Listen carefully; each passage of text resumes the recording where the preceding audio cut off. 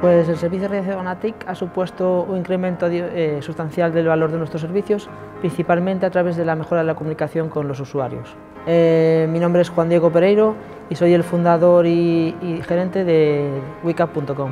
Es la primera plataforma especializada en trabajo para formadores. Eh, nos dirigimos a empresas del sector de la formación.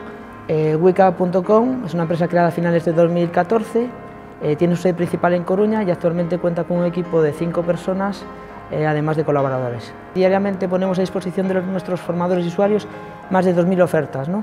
Eh, estas ofertas están disponibles para ellos a través de alertas en su correo electrónico o bien a través de la web.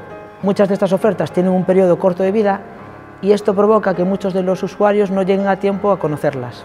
las principales necesidades que hemos detectado eh, han sido pues, el mejorar la comunicación con los formadores de forma que, tengamos certeza de que les llegan las alertas y, a tiempo para que ellos puedan reaccionar inscribirse.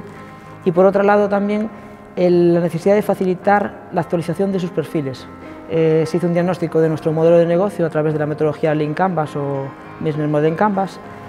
Ah, una vez eh, definido el mismo, se detectaron las principales necesidades, que en nuestro caso fueron en la zona de, en el área de relación con los clientes y propuesta de valor. A continuación, en base a estas necesidades, nos propusieron una serie de, de soluciones en movilidad para, para, solucionar las mismas. Como principales beneficios directos, pues el, mejorar la comunicación con los usuarios, saber que, las ofertas llegan a tiempo. Eh, esto también ha provocado directamente que el número de usuarios inscritos a cada oferta haya sido mayor y además se ha mejorado el nivel de actualización de los formadores inscritos hace tiempo.